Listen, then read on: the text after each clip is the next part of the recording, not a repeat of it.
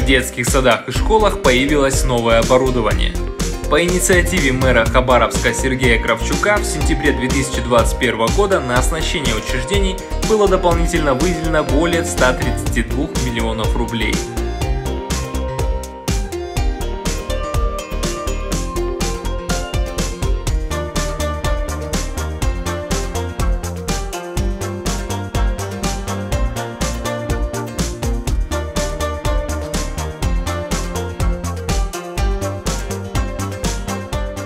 Связи с тем, что детский сад был построен в 1979 году и капитальный ремонт там не проводился, понятно, что моральное и технологическое оборудование устарело и ремонт нужно было сделать капитальный. Было это произведено в этом году. Очень замечательный произвели ремонт, стены, плиты, потолок, новая современная вытяжка и технологическое оборудование, которое отвечает современным требованиям и веяниям нашего времени.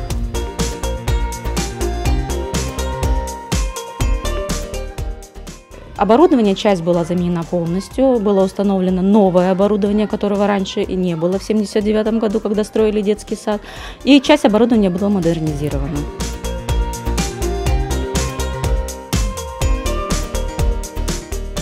Каждый год у нас проходит приемка учреждения. Понятно, мы обращаем внимание нашего учредителя на проблемы, которые есть в детском саду. Нас слышат и, соответственно, наши просьбы удовлетворяют.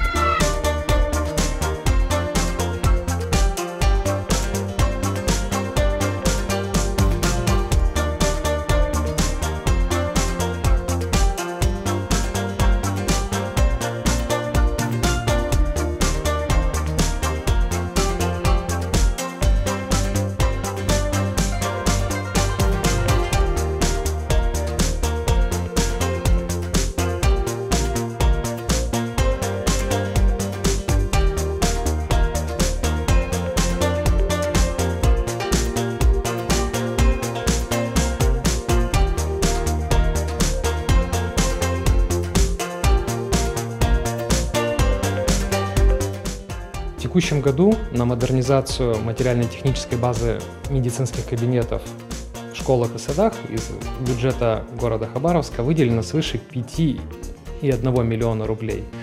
А на эти средства проведены работы по дооснащению уже имеющихся наших медицинских кабинетов оборудованием, ну, недостающим оборудованием, то есть в соответствии, в соответствии с нормативными документами, которые в настоящее время действуют. То есть это приказы Министерства здравоохранения, которые устанавливают перечень оборудования, которое обязательно должен быть в медицинских кабинетах.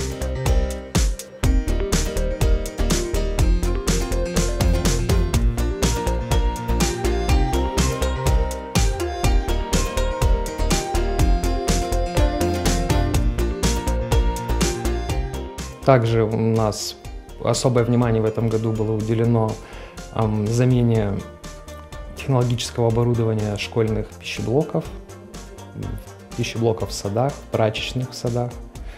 То есть там мы смогли затронуть свыше 50 учреждений. То есть заменена, произведена замена оборудования, которое выработало свой уже ресурс, да, это нуждалось уже в замене, и проведена техническая модернизация. То есть вот как мы видели, да, сами в саду установили там проконвектоматы, устанавливаем, да, это оборудование позволяет не только повысить качество выпускаемой продукции, да, то есть ее вкусовые, но и также сделать ее более во-первых, ускорить процесс приготовления, да, и сделать его более полезной, можно так сказать, да, то есть уменьшается количество канцерогенов и всех негативных моментов, которые там могли быть.